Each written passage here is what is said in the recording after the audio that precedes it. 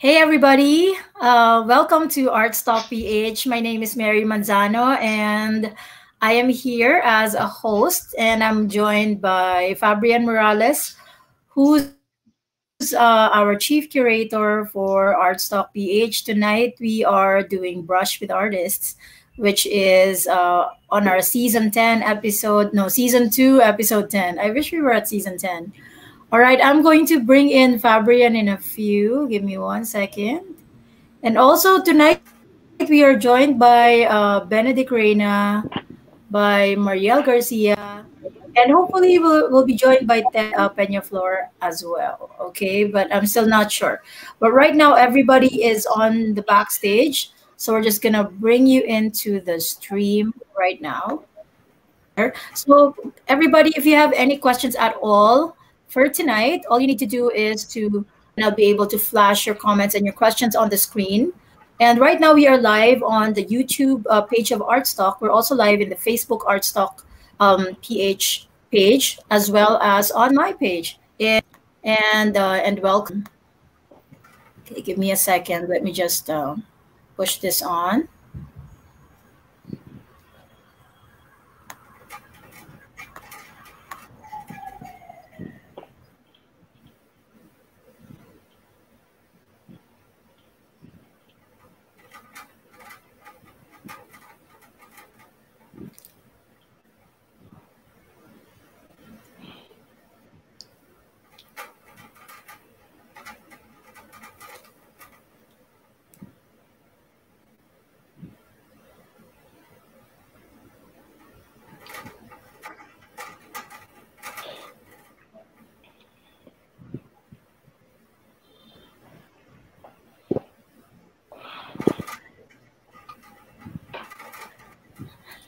Okay, I'm back. Everybody, okay. I just got, got popped out of my own stream, right? That happens sometimes, you know.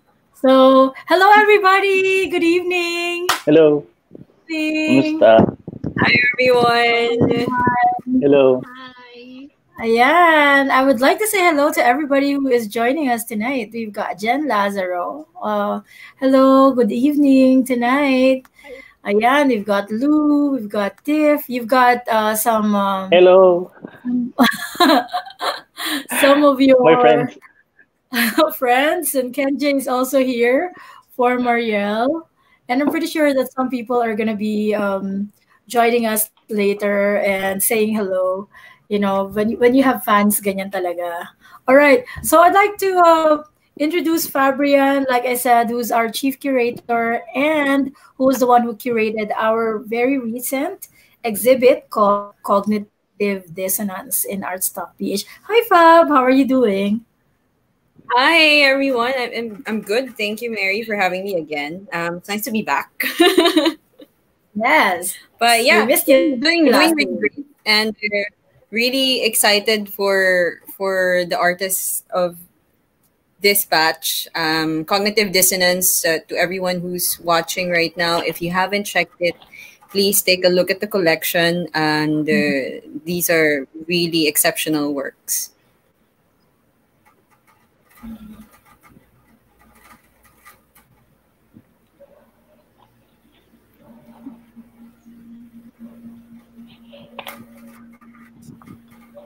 I agree totally agree. You know, I have this habit where every single time that there is an exhibit, I try not to look at the paintings until the last minute, you know? And um and I really like being able yeah, so I like being able to um, like surprising myself, you know. How are you, Marielle and Ben? Hi, I'm good. We're fine. Okay kami. A little bit of a lag. May, nag, ano ba? Naririnig niyo Yeah. Okay naman kayo. I can hear Ben uh, clearly. Okay, okay, okay.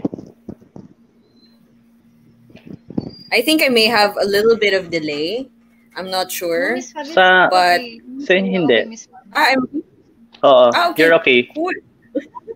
Miss Mariel lang. Thank si you. Miss Mary. I was, ang I ano. was Oy, okay. Yeah, I'm actually wondering because the in the past episodes to everyone who's watching uh, and everyone who's been following Brush with Artists in the group, I'm always the one who's who ha- who's had bad internet. you Yung nawawala. so I'm glad to be I'm glad to be um, crisp and clear tonight. So I'm really happy to see you again, Benedir and Marielle. Uh, it's been a while. And uh, thank you for Thank you. making it to Yeah. Brush with Artists tonight. Thank you for making time. Um, while we're waiting for Mary, and uh, what happened to Marielle? I'm here. Nawala. Is she still with us?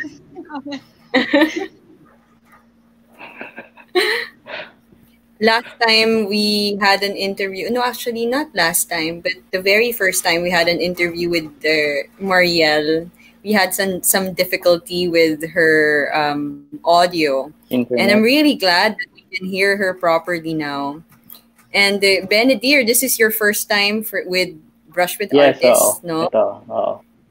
and uh, Thank you, how, thank how, you. how do you feel being on in an online in an online show show Actually, this is my first time na ano na nasa online show ako since live stream siya.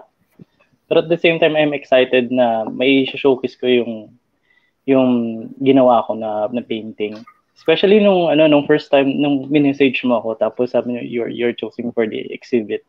Sobrang ah, na-hype ako dun sa ano sa message mo. I really, actually, really happy when you said yes.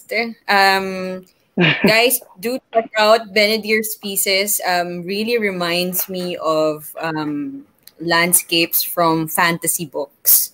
And the first Wow. time I saw his work, I, I told myself, "Wow, so I can, I can imagine how many works he can create for my favorite fantasy books."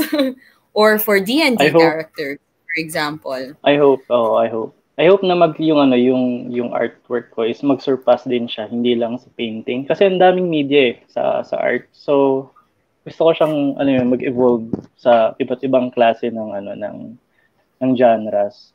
So that Mm-mm. siguro marami mas maraming tao din yung ano yung makakita at saka maka-experience ng artwork mismo. Yes. I really, and that's also why we're doing Brush with Artists. And uh, if Mary is here with us now, I probably, yeah, she can hear me. Yes, bumalik na Would tayo. agree. She would agree Oh, that good. started Brush with Pero nawala Artists. si Mariel. Oo. Uh, na natanggal yung uh, connection ng mic niya and Mm. cam. So I can Oh. add her to Oo. So Marielle, if you can hear us, you need to reconnect your mic and cam. Uh, I actually had to restart. That's why I was gone for a few minutes. So thank goodness I'm in a Chromebook. So that means restarting is quick. so I had to like completely restart my machine. Okay naman. Sorry guys. It's just been Yeah, um, mas, mas better niyan. much better now. Thank you. I had like Oh, this much really weird lag a while ago. So, uh, more often than not, I never really turn off my machine. And I think that's one of the reasons why. I don't know if you do the same. I sometimes just put down the, the screen and that's it. I don't shut it down. same, So- same. Yeah, Mhm. diba? And it Yeah, really oo. affects the machine after a while. Ayan. So I do have uh, your profiles right here, and I just would like to. I'm waiting for Marielle to come back on um, to our stream. She's just gone from the backstage right now. But since we have uh, Ben right here, so we've got your very brooding uh, photo.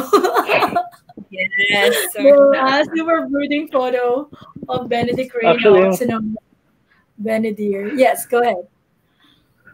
Yeah. Actually, yung, yung about dun sa picture, friend ko talaga yung pumili niyan. Kasi lahat ng mga, yung mga pinapili ko sa kanya is, sabi niya, you're, you're too serious with all the photos. Tapos, Mm-mm. parang pinili niya yata yung nakasmirk lang ng konti. Sabi niya, yan, Ano pwede ba? na yun.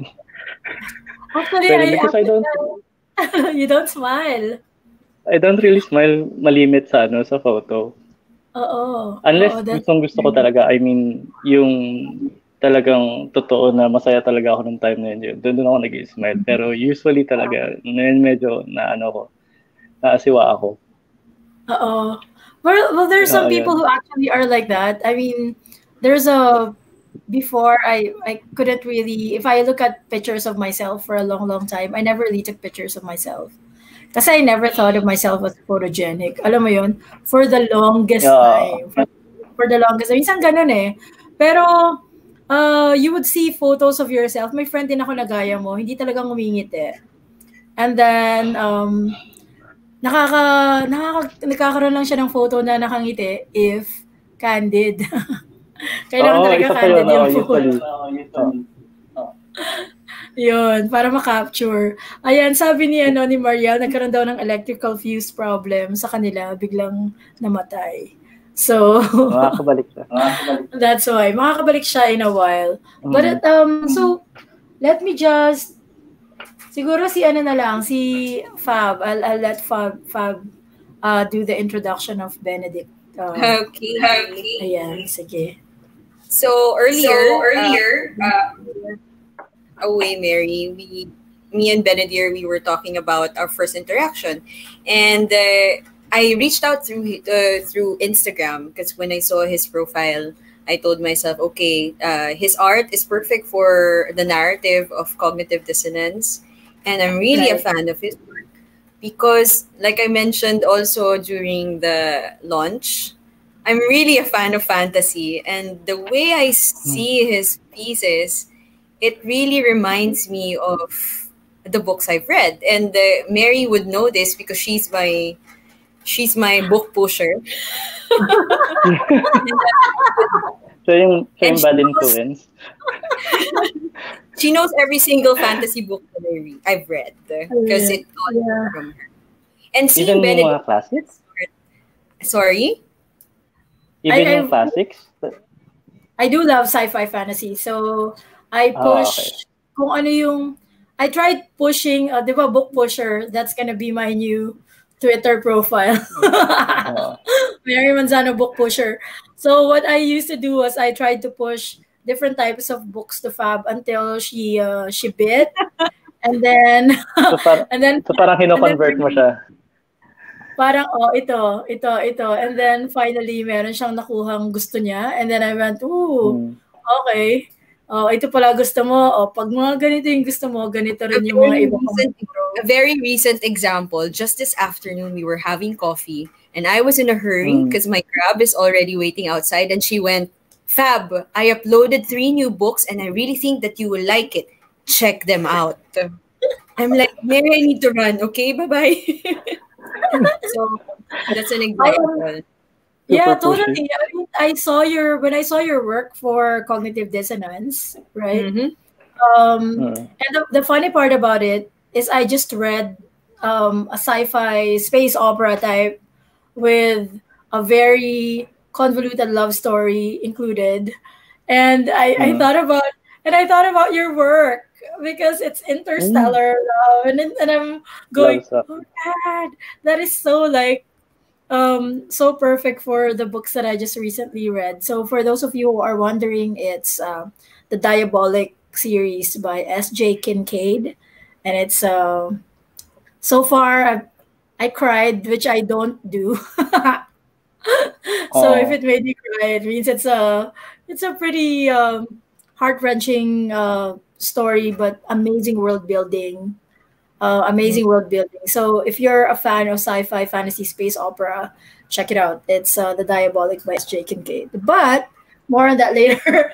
so right now, But you were saying, of- Fab, yeah. Speaking Yeah, of that you- fantasy, of fantasy, you know all of those You know, all of emotions those we read in fantasy Mhm. novels. Benedict's piece for cognitive dissonance actually is a very emotional piece. And when you look at it, uh, which we will show later, when you look at his piece, it's it has a very surreal, dreamlike feel, and you actually feel like it's part of some book. At least Yeah. that's that's how it made me feel. And just to give you more background, uh, sorry, to tell you more to our audience, to tell you more about Benedict. Benedict um, also teaches art, and uh, he identifies as a how do how do I say it, etherealist? Is that right? Yeah. And Oo, later, I, etherealist. yung actually, yeah. yeah, go ahead. Sorry, Yeah, yeah, go you ahead. can talk.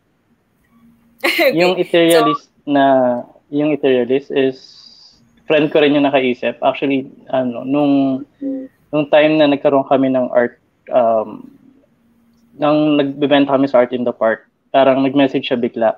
Grabe, sobrang ethereal nung artwork mo. Tapos sabi ko, ano yung ethereal? Sabi, search mo, Google mo, Google mo.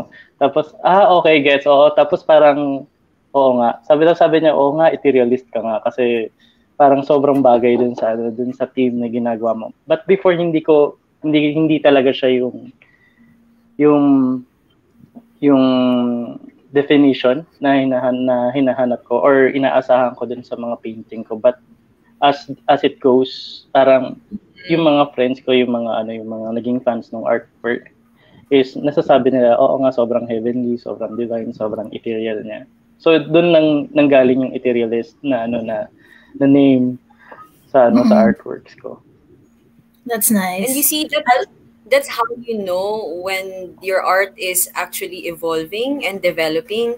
It's when people Hmm. start to associate and actually invent words to describe your your visual yeah it style. is it is yeah it is and it helps then yeah, I like for that. example for sa amin as an as an artist kasi minsan may mga may mga pinipaint kami especially sa akin kasi ah, sobrang big sa akin yung ano yung yung internal ah, world ng tao tsaka yung emotions na nagko-combine doon.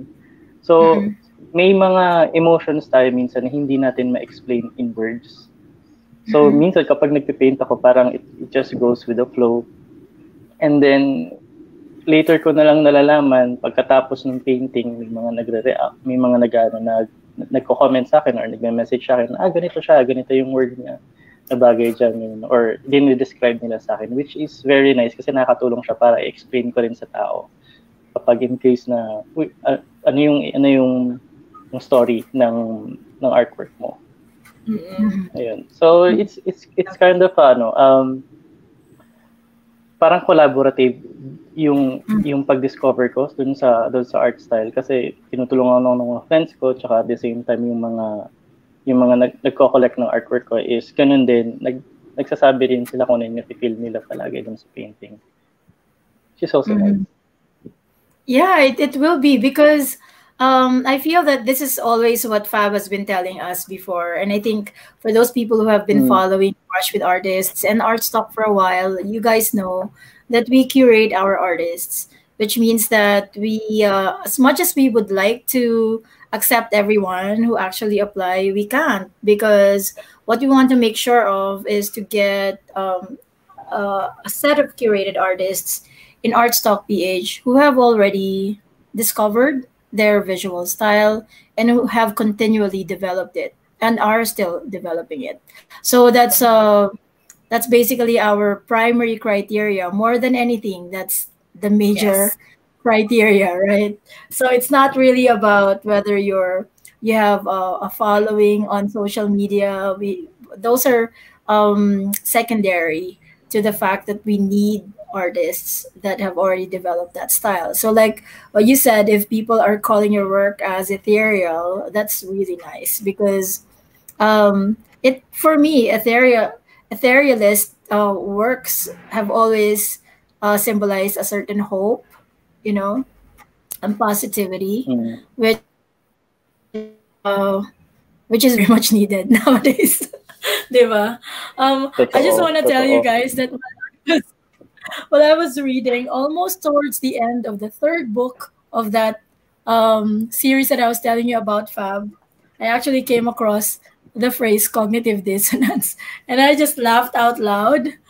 I just laughed out loud. I finished it yesterday, so I'm just gonna read it. I, I have my book right here. So, um, so the line was like this: um, remolding the lie into a narrative so absurd that it strains the ability to believe in it. Cognitive dissonance, I think, that is what the philosophers once called it. I want to break that instinct to subscribe to the dictates of a reality that does not exist by creating a false reality so ludicrous that belief in it cannot be sustained. I love it. When I was reading it, I went, "Ooh, this is our exhibit." so Fab, if you don't uh, if you don't see the signs, that's the sign that you must Yes. read it. yes. Actually, yeah.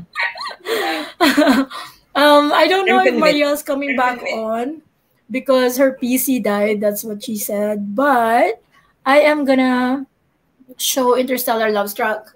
Um, this is uh, the work of Benedict that is in our cognitive dissonance exhibit, right? So um, I'd like to know more about it. So can you take us through um, this painting? Sa in, yung inter, interstellar love stuff. Can you hear me? Yan, sige. Yes. Or nawala? Yes, you can. Yes, Ayan, you can. okay. Actually, yung yung Interstellar Love Struck is about nagsimula siya sa ano sa nung naging naging fascinated ako sa space, sa floating, ah, yung anti-gravity na things. Tapos kay actually if you if you know Jeremy Gibbs, ano siya, ah, artist siya na puros floating people yung, yung ginagawa niya. Tapos at the same time, meron siyang specific na artwork na sobrang tuwan-tuwa ako. Mhm. It's about this ano um cosmonaut which is a Russian version of a of um, an astronaut sa NASA. Mhm. And then Mhm. parang sobrang peacefully lang niya, peace, sobrang peaceful nung pagkaka-float niya na parang na maski na ah, yung may mga team siya na na nabasag na yung helmet niya which means na mawawalan ka ng oxygen kapag nangyari yun. Parang Yes. sobrang peaceful pa rin siya. So parang at the same time doon nag ano doon doon parang nagkaroon ng spark yung ano yung yung way kung paano ako nagpakalma. And then dito sa Interstellar Love Struck, uh, that's one of the the inspirations. Mhm. But at the same time, nung ginagawa, yung the Interstellar Love Struck is actually old painting na siya. Mhm. Old, sobrang old intuitive painting na siya na ano, um, ginawa ko siya out of desperation dati. Kasi syempre may, may may times ako dati na naging ano naging depressing. Yung ano ko na burnout ako sa trabaho. Tapos dumating ako sa point na parang gusto lang gusto lang ng soul ko magpahinga and everything. Kasi ang daming ang, ang daming ang daming pressures ang daming ang daming sinasabi na dapat mong gawin. Tapos parang at the same time yung little voice sa loob mo sinasabi niya na hindi hindi yun yung dapat mong gawin. Hindi wag ka makinig sa tao at the same time. Parang naglalaban silang lahat. Which is Mhm. nung ano kaya nung ano nung, nung time na nagkaroon ng cognitive dissonance nakatago lang talaga yung painting na to. Pero nung first time na na iniisip ko kung ano yung painting na isasali ko. And it came to my mind na ah ito ito yung sakto. Kasi nung time na yon ano ay yun yung time yun yung era na I'm still thinking kung ano yung sasabihin ng ibang tao sa sa akin. Ano yung mga expectations nila sa akin which is parang minsan nakakalito na rin. Kasi pag kinausap ko yung sample yung grandfather ko iba yung iba yung gusto niya sa akin. Yung lola ko gusto niya ako maging pare pero hindi ako naging pare. Yung yung parents ko iba rin syempre. Kasi parang I I don't know. Basta iba-iba. Siguro iba-iba yung ano yung naging yung way nila para makita nila yung life ko. But at the same time sa loob ko uh, deep in my my heart my my psyche parang merong ano yung still small voice na sinasabi nila na sina, na lagi niya sinasabi na create your own path. Even if you Mhm. don't see where you are stepping. Mhm. basta parang lagi lang lagi siya lang lagi lang nagpapakita ng susunod na step. Yun lang dire-diretso lang. Minsan nagrereklamo nga ako sa kanya ba't kasi ayaw mo na ipakita lahat?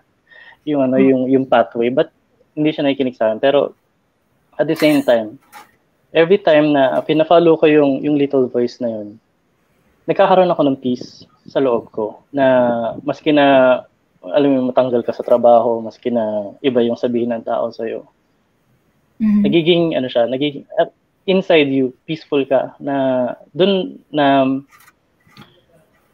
it doesn't matter if if yung tingin ng tao minsan sa is dapat yun yung tama.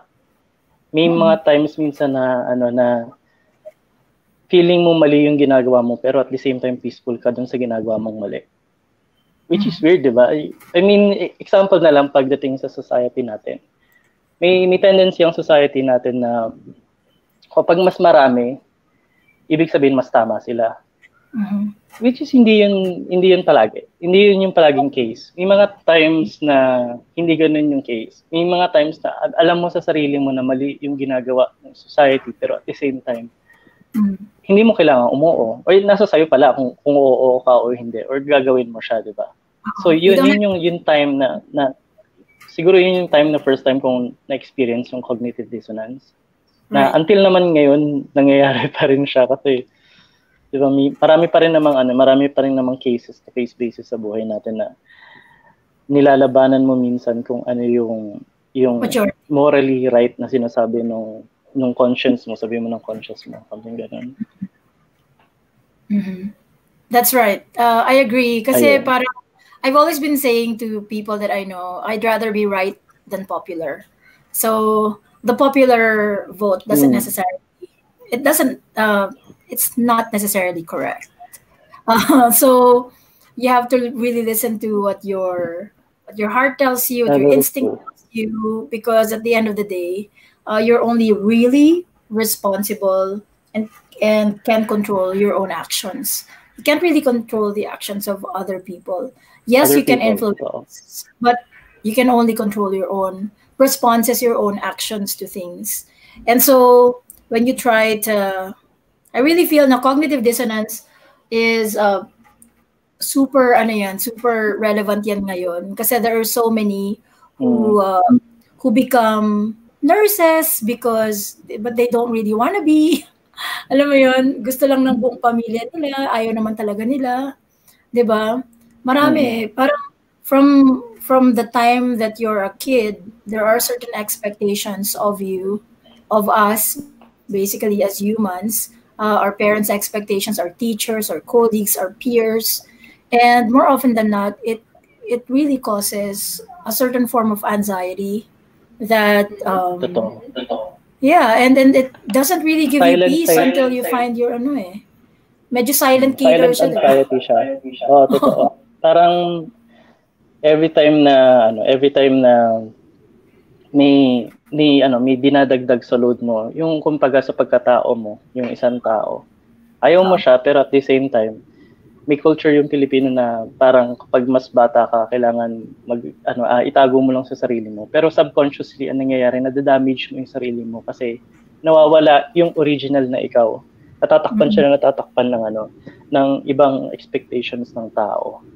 Mhm. Which is, yun siguro, minsan kailangan din nating hukayin ulit, pabalik. Kasi kalimitan siguro yung, ah, kalimitan ng mga tao ngayon, ng mga tao, which is yung na, nakaka, experience sila ng depression is because social media sabihin na lang natin na ito dapat ikaw dapat maging ano ka maging famous ka at the age of 20 at the age of uh, 15 nga minsan eh 12 or something like that and then Oo. we get depressed sa sa ano sa kasi ang dami na rin nakikita na ah, ba't sila ano na ang, ang dami nilang nangyari sa buhay nila pero ako nandito pa rin ako ganyan pero, pero the truth of life, yung reality ng life, kanya-kanya naman may oras tayo eh. Meron yung iba, 70 years old, 90 years old, sa doon sila nagbo-boom. Meron namang iba, ah ang dami ang dami nilang ano, ang dami nilang failures. Parang se- Mhm. ah, 50 years old na sila bago sila talagang nakita na na na, na discover yung sarili nila. So, Mhm. ayun, kaya siguro dun balik tayo dun sa painting. Kaya din siya barrage of arrows at the same Mhm. time. Kasi siguro yun yung ano, tapos 'di ba heart yung ano, burning heart yung parang tip ng arrow. Kasi yes ah yung yung arrow na yun, parang sinasabi nila palagi na sinasabi ko si- si- kumbaga yung yung relatives mo. Sinasabi ko sa to kasi mahal kita.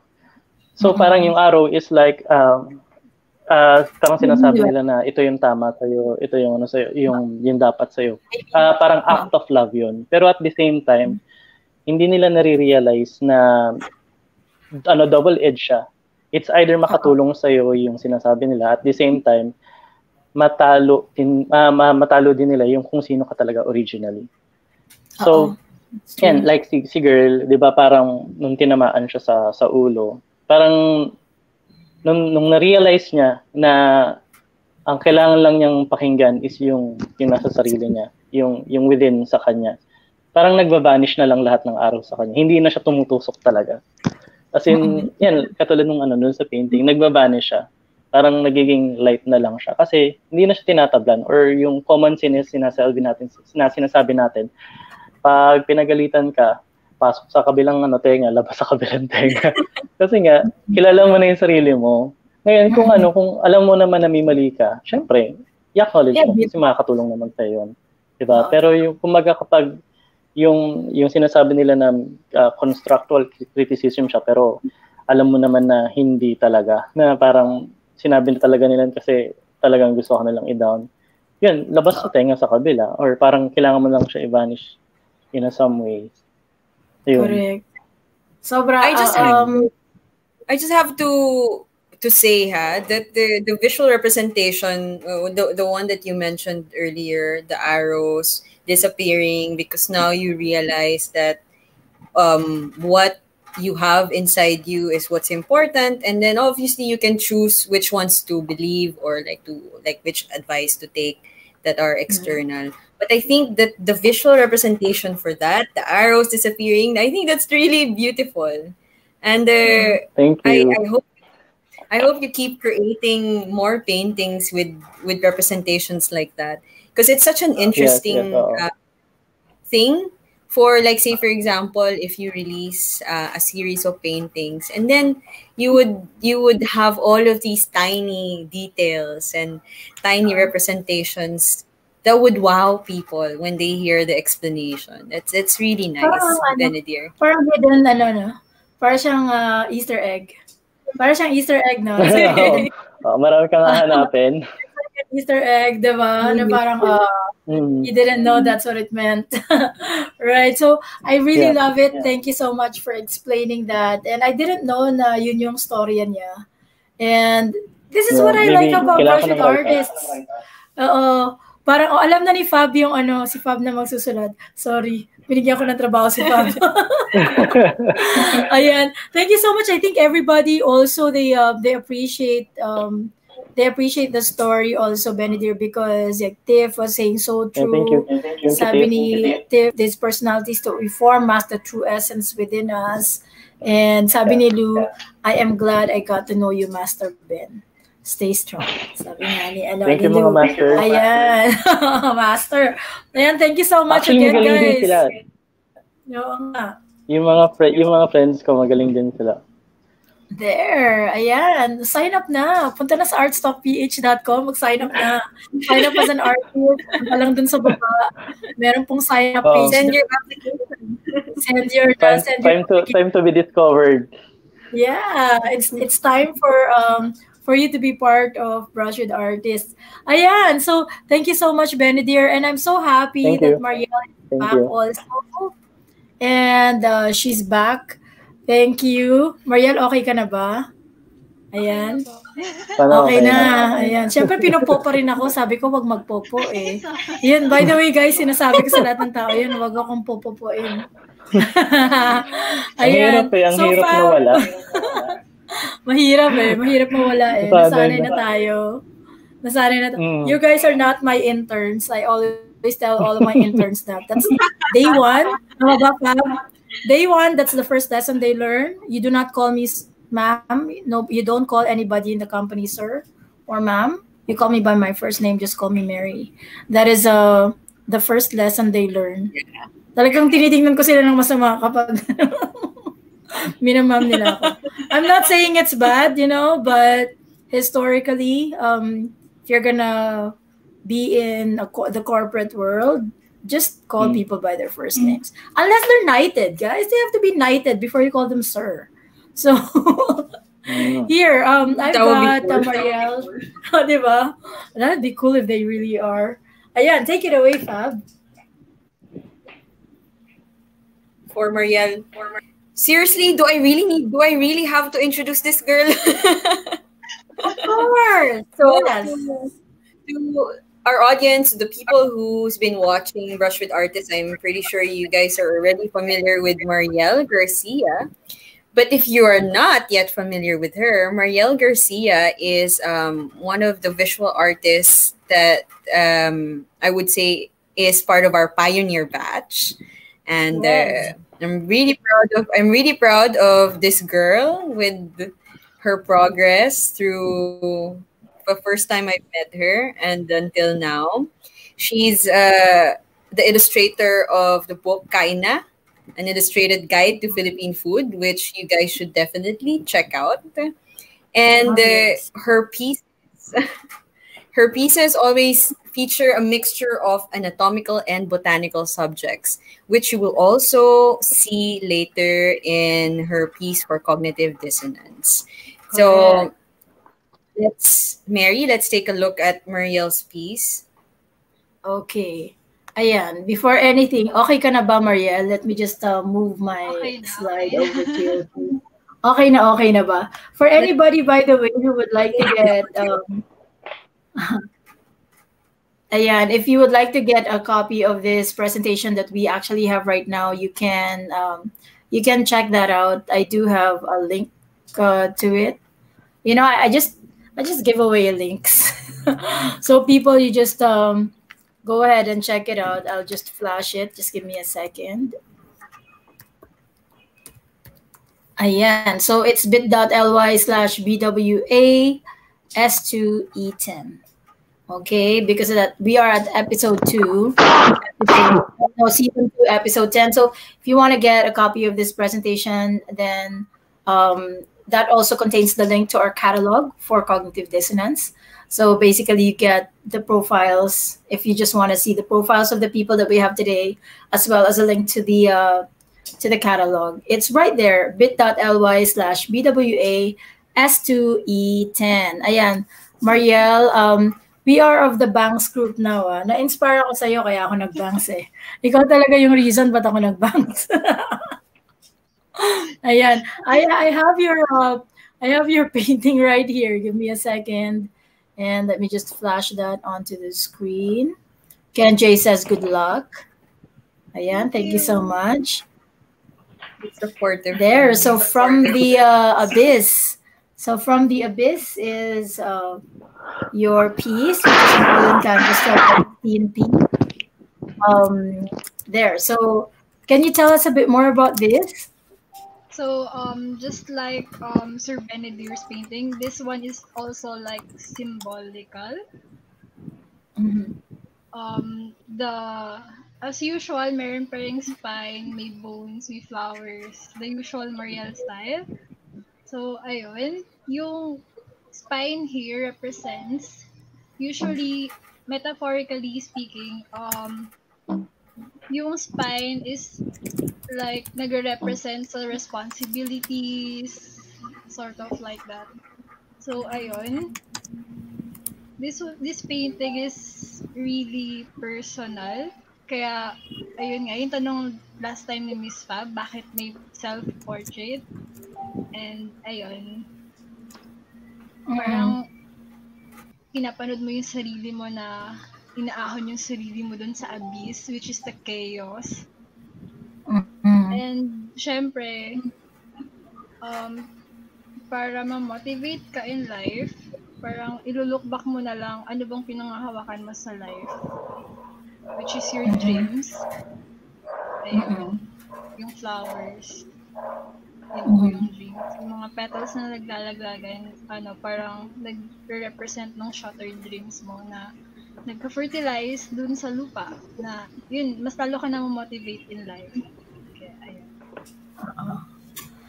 I like that. I like that, you know, it still has a use.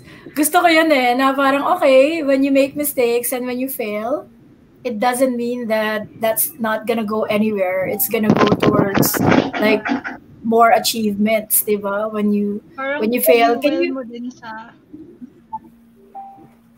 Oo. I really feel na parang there's no success without without it. There's no success without failure. Um, Mhm.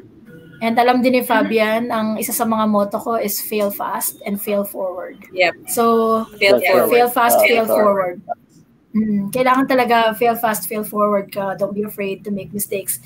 It's one of the reasons why I am so, I'm always um, both honored as well as uh, very happy that we built Artstock PH because artists throughout the ages have always been the voice that gives, um, you know, it, artists give voice to everything, to the real truth, the truth of things, diba? because they're not afraid to make mistakes. They design things. They try to solve problems express things in its in their own reality and their own truth. And so without uh, censorship without fear uh, yun yung mga kasi 'di ba sa cognitive dissonance isa yun sa feeling ko malaking bagay din yun na a lot of people would conform would want to conform. 'di ba so they would do what is uso or uh, mm-hmm. they would uh, mm-hmm. paint what is not really their style but what is selling. Di ba yung mga ganon? And sometimes hindi talaga ikaw yung, di ba, kompromiso. Pero in the end, um, it's not really gonna help you. Like being true to yourself is going to help you at the end of it. I love it. Uh, iniisip ko bakit kaya may minimi ka na umaakyat dyan sa spine mo. Yun pala yun. Mm-hmm. Sabi ko, may mini si Mariel. Digtas dun sa Oo, totoo. It's struggle, ano? Pero yun talaga eh. That's life. Um, pero maganda doon, alam mo yun, you're removed from it. Yun yung, nung tinignan ko to the very first time, sabi ko, if I was gonna watch myself climb something, and if I was removed from myself, watching myself, struggle through things. Diba? You already know the top of it. You basically know this is the path. It's going to be hard. You're going to struggle. You can see the path. It's it's difficult. Pero sige lang. Go lang. It's a very similar fab to what I was telling you about before, about my rubber duck. For those people who know me, they know mm. that I have a duck. Uh, I'm like Jan Rocabiles, one of our artists. We are both duck lovers. We like rubber ducks. And I like rubber duck debugging. We, we have something called rubber duck debugging where you talk to the duck. Um, why are you going to talk to the duck? Because more often than not, when you when you self-talk, you don't self-talk right. Kunyari pa nagkakamali tayo, lagi natin sinasabi, ba yan, ang tanga-tanga ko. Bakit ko ito ginawa? Di ba? Mm. When in fact, we should be kinder to ourselves and when we self-talk we should self-talk right and can I can I ah, sige. Go ahead Benedir go may ahead sinabi sila na may sinabi sila about dun sa sa word na kapag may ginawa kang ano katangahan sabi mm-hmm. nila um, minsan mali daw yun dapat ang ang alter way para sabihin daw doon ang tanga-tanga ng ginawa ko hindi siya direct sa'yo mm-hmm. or Uh-oh. in case dun sa mga friends mo, ganyan. Kasi parang, andun, any, any, maski naman daw mag magkaroon ka ng mistake, technically, uh-huh. yung, yung worth mo, same pa rin siya eh. Parang yung crumpled money, kapag yung 20, crinumple mo siya, 20 pa rin siya, maski na, uh, 20 pa rin siya, di ba? So, same pa rin siya yun. Madumi, pero 20. di ba? No, Totoo pareho pa rin siya ng worth, di ba? Oh, I just uh, the reason uh, the reason why I brought up the duck is because um, the only reason why I brought it up was because of that self talk, and the other thing is. I sometimes talk to it pag kailangan ko ng motivation. And the very, very first time that I was introduced to it, I had to talk to the duck as if the duck was my past year self. Kunyari, if the duck mm. was hmm. my self last year, like November of last year, alam ko na kung ano dinaanan ko this whole year. Pero yung duck, di niya alam yun. so I would talk to the duck as if, oh, kapit lang kasi it's gonna be a tough year next year. I already know it's gonna be a tough year. So it actually boosts my confidence talking to a duck, telling the duck that, you know what, it's gonna be a tough year, but you're gonna go through it. You're gonna go through an entire year where you will not really go out much, but um, you're gonna be stuck at home.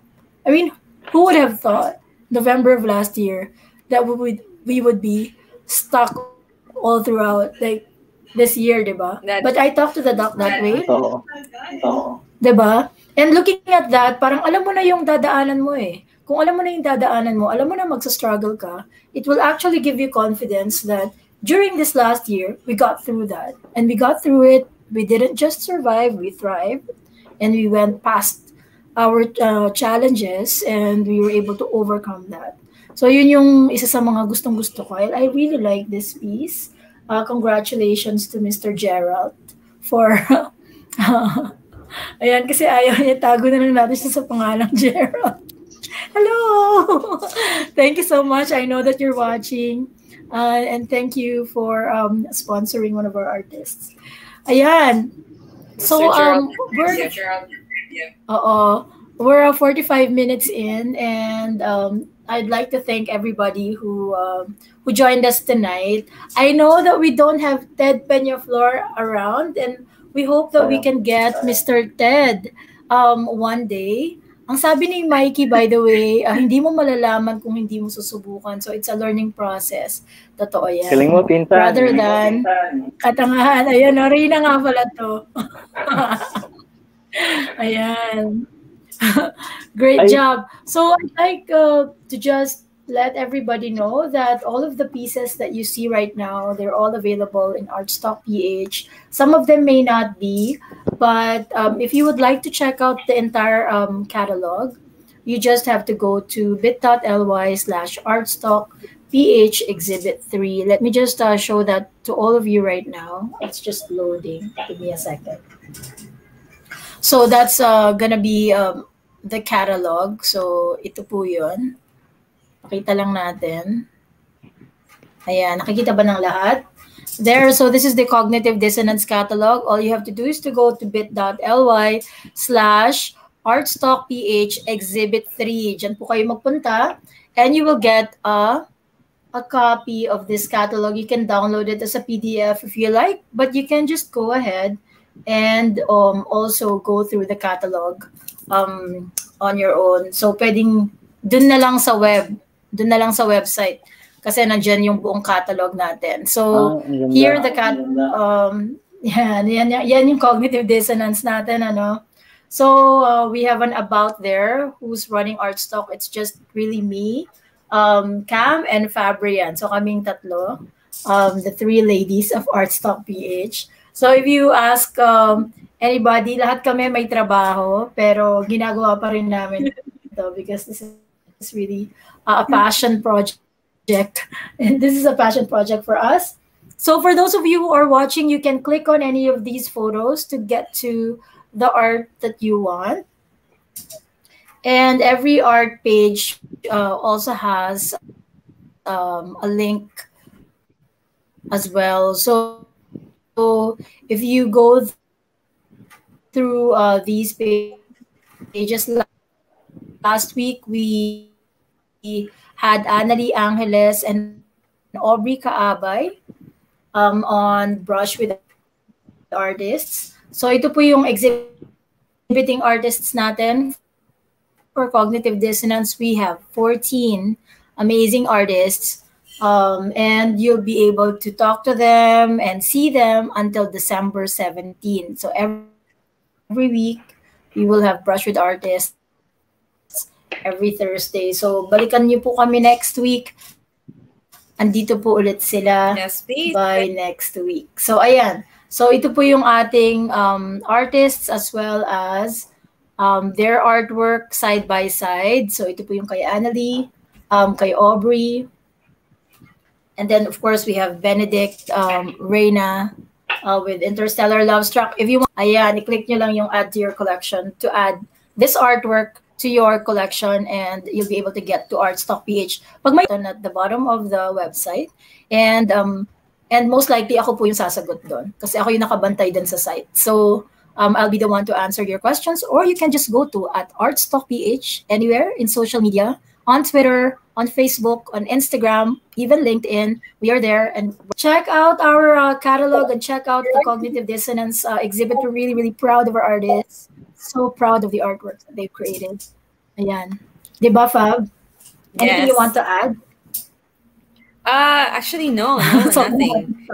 I'm, yeah, I, I, I'm really, I just want to tell the audience that please watch the following episodes of with artists because it's your chance to know our artists for cognitive dissonance. You get to ask them questions, and you actually um, get to see their art. You'd be able to hear their narrative of their own pieces. So that's something that you wouldn't want to miss.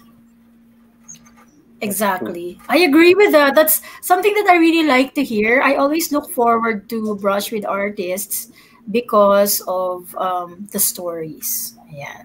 Yun lang. So, um, Benedict and Marielle, we would like to thank you for joining us again for Thank you. Thank uh, you. tonight. And I hope you guys have a lovely evening. For our uh, Yeah. friends in the US, happy Thanksgiving and uh, have a great Happy Thanksgiving weekend.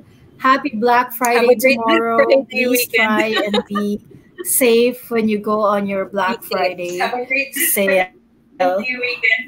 Okay, have a great Yun talaga shopping weekend. All right, everybody. I'd like to say uh, good night and thank you again. Good Yun night. talaga. Good night, guys. Thank you. Bye-bye.